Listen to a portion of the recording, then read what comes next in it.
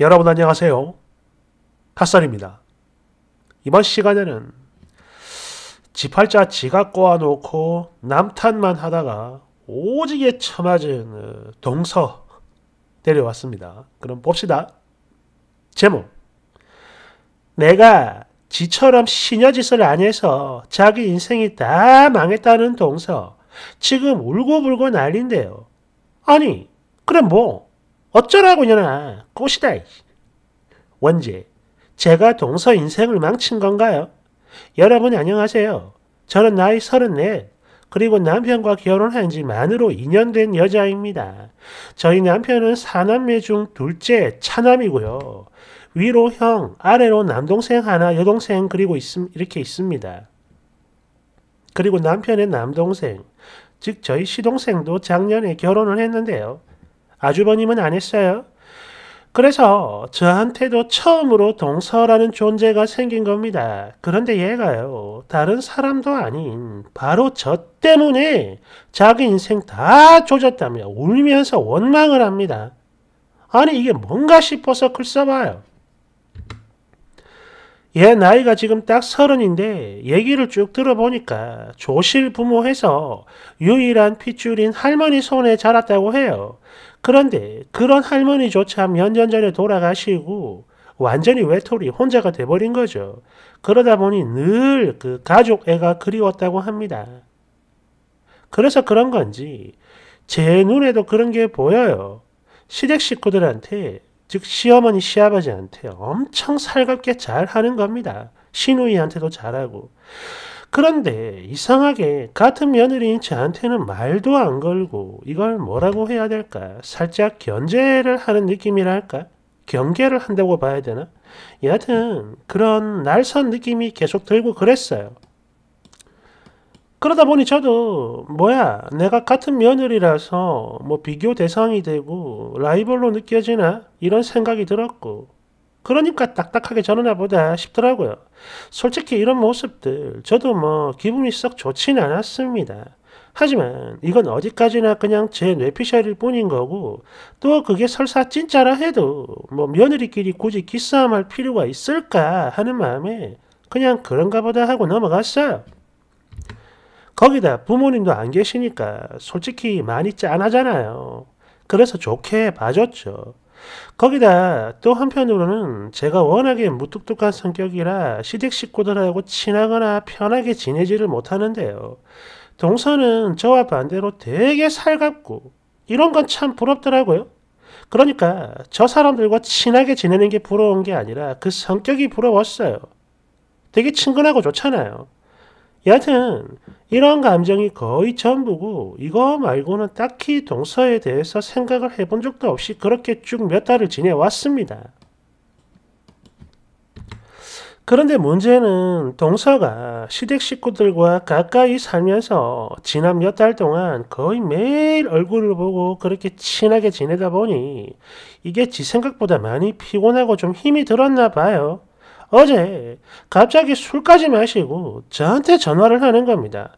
그러면서 제가 방금 위에 말한 내용으로 막 징징대요. 힘들다고. 그럼 저는 아우 얘가 생각보다 많이 피곤한가 보다. 이래가지고 위로라도 해줄까 했는데 그랬는데 얘 입에서 대뜸 근데 형님은 왜 아무런 도리를 안 하세요? 이러더라고요. 참고로 저랑 남편 둘 다 굉장히 무뚝뚝한 성격이고 말이 없어요. 그래서 뭐 행사가 있는 게 아니라면 거의 안 가는 건 사실입니다. 연락도 마찬가지. 용무가 있을 때 말고는 전화 잘 안 해요.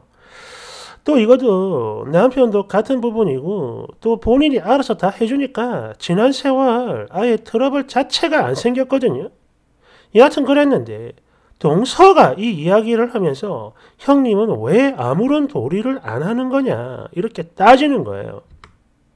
그래도 처음에는 뭔가 짠하고 불쌍하고 그랬는데 뜬금없이 이딴 소리를 들으니까 솔직히 어처구니가 있겠어요? 없죠.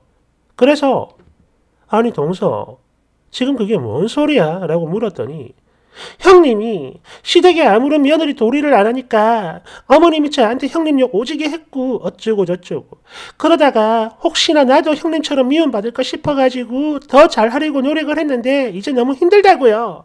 양심이 있으면 형님도 저랑 같이 해야 되는 거 아닌가요? 등등등. 실제로 내용이 되게 긴데요. 최대한 요약을 하면 이렇습니다. 왜 나만 이렇게 해야 되는 거냐? 형님은 왜 안 하고 가만히 있냐? 이건 너무 불공평한 거 아니냐? 나만 당하는 거 억울하다. 같이 해라. 아니, 내 남편도 안 찾는 도리를 지가 뭔데 찾는 겁니까? 순간 저도 모르게 욕이 나올 뻔했는데 그래도 참았어요. 불쌍하니까. 대신 한마디는 했죠. 이봐 동서 많이 취한 것 같네. 너 지금 실수하는 것 같다. 그리고 도리라니 무슨 도리? 아니 도대체 무슨 도리를 말하는 거야? 이러니까 얘가 마치 제가 이 말을 해주길 기다렸다는 듯 전화는 최소 일주일에 한 번은 드려야 되고 한 달에 한 번은 찾아뵙고 어쩌고 저쩌고 나랑 바톤 터치 해가면서 해야 되는 거 아니냐. 이러면서 얘가 쌓인 게 많았는지 지 속에 들어있는 걸 다 쏟아내는 거야. 한참을 그러더라고요. 솔직히 시어머니가 내 흉을 진짜 봤을까 싶지만 아니 그게 진짜라 해도 얘한테 그런 소리 들으니까 너무 기분 나쁜 거예요. 그래서 이번에는 진짜 냉정하게 한마디 했습니다. 동서 잘 들어라. 나 시어머님과의 관계 나쁘지 않고 잘 지내왔어. 그런 말씀 하셨다는 거 믿기 힘들고 아니 설령 어머님이 진짜 내 욕을 했다 해도 그래. 그런 말을 이런 식으로 전하는 건 도대체 무슨 경우냐?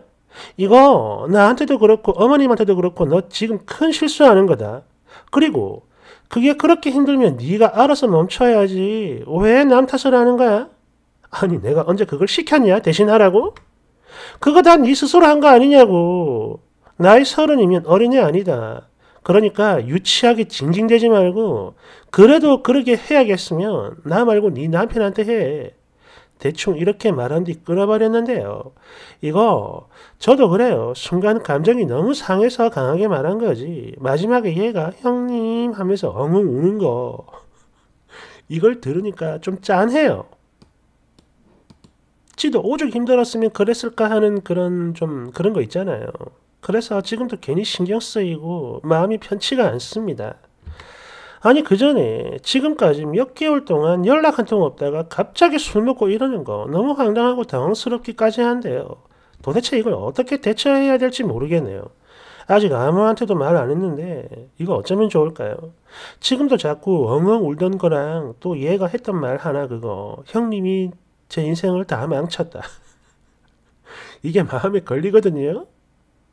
불쌍한데 어이도 없고 황당하고 막 그런데 정말 어렵습니다. 이거 어쩌면 좋을까요? 댓글 1번 결국 지팔 직권 아닌가? 아니 당사자도 신경 안 쓰는 걸 굳이 본인이 먼저 나서가지고 깝치다가 망한 거 아니냐 이거죠. 그리고 겨우 그 정도도 못 버티고 망쳐질 인생이면 그냥 놔둬도 언제든 망쳐질 인생이었다 이거지. 신경 꺼버리세요. 2번 야 얘 내 동서랑 비슷하다. 걔도 그래요. 결혼 후 내리 3년을 매일 아침마다 시댁에 무난 전화를 드리더라고. 진짜 단 하루도 안 그러고 매일매일 오지게 해. 그리고 나는 뭐 한 달에 한 번 할까 말까 그랬죠.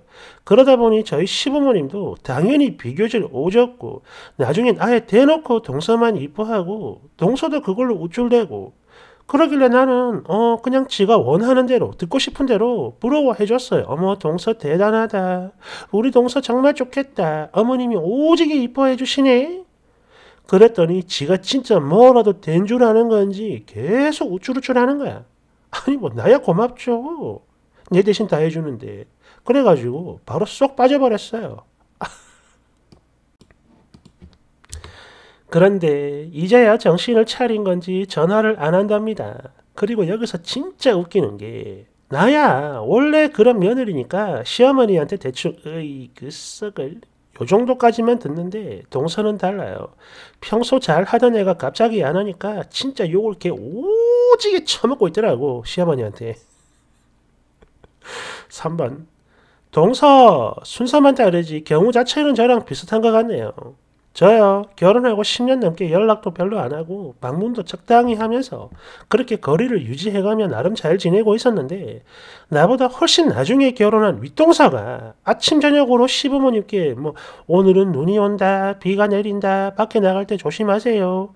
이런 살가운 문자 보내고 전화하고 또 집도 가까우니까 퇴근길에 자기 혼자 가서 밥도 먹고 오고 또 그렇게 맡겨놓았던 애도 데려오고 등등등 잘 하더라고. 그리고 그런 맏며느리가 이렇게 후한 대접을 해주니까 애매한 저하고는 비교가 될 거 아니에요. 그러니까 저한테도 너도 그렇게 해라 이러는데 제 성격상 그리고 또 사정상 대충 한 귀로 예예하고 흘러넘겼어요. 안 했죠. 그랬는데 결국 윗동서 결혼 4년 만에 이혼하고 나갔습니다. 이거 아무도 강요하지 않았고 지 스스로 한 건데 또 그걸 받다 보니까 시어머니 당신들도 더 많이 바란 거죠. 결국은 서로가 지쳐가지고 오지게 싸우다가 갈라서더라고. 그러니까 쓰니도 신경 꺼버리세요. 그냥 술김에 전화한 거다 하고 흘러넘겨. 그리고 끼어들지 않는 거 이게 제일 좋아요. 냅두라고. 4번 헐 미친 뭐야 이거 우리 동서랑 똑같네. 저도 이런 소리 들어서 어이가 없어 그냥 대놓고 말을 했어요. 그래 너는 계속 그렇게 대리 효도를 하고 살아라. 나는 나대로 살 테니까. 아니 네가 뭔데 나한테 시어머니도 안 하는 시자 짓거리를 하냐? 미친 거냐? 라고 해줬어요. 나중에 들어보니까 얘도 전화 끊고 울었다는데 아니 지가 왜 울어? 안 그래도 바쁜 사람인데 더 짜증나게 왜쳐 울고 지랄이야. 5번 쓰니는 보니까 되게 무던한 성격이라 이걸 잘 모르는 것 같은데 애정 결핍 심하고 꼬여있는 사람 진짜 무서워요. 좀 편하게 해라. 너 그렇게 안 해도 된다. 이러잖아요? 그럼 어머니 형님이 저한테 하지 말라고 했어요. 100% 일할지 떨면서 시모 찾아가 웁니다. 그냥 각자 효도 방식이 다른 거고 나는 동서가 좋아서 그렇게 하는 줄 알았지. 효도 방식은 사람마다 다른 거야. 딱 이 정도만 말하고 신경 끄세요. 아, 그리고 남편한테는 꼭 이야기해야 됩니다. 한 번은 내가 이해를 하고 넘어가겠지만 또 이러면 당신이 당신 동생한테 전달해서 질서 똑바로 잡아라. 이렇게요. 이거 불쌍할 것도 미안할 것도 또 불편할 것도 없어요. 아시겠죠? 6번 보니까 지금 시어머니랑 쓰니 사이를 이간질 중인 것 같은데 쓰니한테는 왜 며느리를 도리를 안 하냐 이러면서 시비 걸고 시모를 미워하게 만들면서 또 시모한테 가면 형님은 어머님이 싫대요. 저 혼자 다 하라고 했어요. 이딴 소리 할 것 같은데. 6번 이건 그냥 시모 농간에 놀아난 거지. 저도 당한 적 있어요. 작은 며느리인 나한테는 형님 욕 오지게 하고 또 반대로 형님한테는 작은 며느리인 제 욕도 오지게 하고 그러면서 둘 다 부려먹으려고 바락질하고 난리더라고. 7번 진짜 별 거지 같은 게 남탓 오지네. 끌끌끌끌. 대댓글. 이런 건 시자질을 당한 애들이 할 수 있는 말 아닌가? 아니 누가 보면 쓰니가 신우이라도 되는 줄 알겠네. 뭐냐 이거? 8번 거지 같은 애정 결핍이네. 쓰니 이거 조심해야 돼요. 나중에 피해자 코스프레 하면서 쌉소리 할 가능성 오지게 높습니다. 그러니 항시 녹취하고 톡 주고받은 거 있으면 나가지 마요. 그리고 제일 중요한 거 최대한 엮이면 안 됩니다. 또 이런 일은 즉시 쓰니 남편, 시동생한테 알려야 돼요. 그래야 나중에 억울할 일도 없는 겁니다. 9번 이래서 자발적 종년 신년은 답이 없다는 거지. 지 잘못은 하나도 없고 무조건 남 탓, 세상 탓, 오지지. 어이그.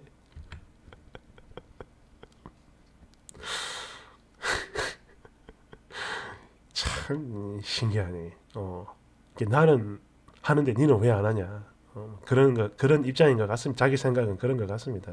어.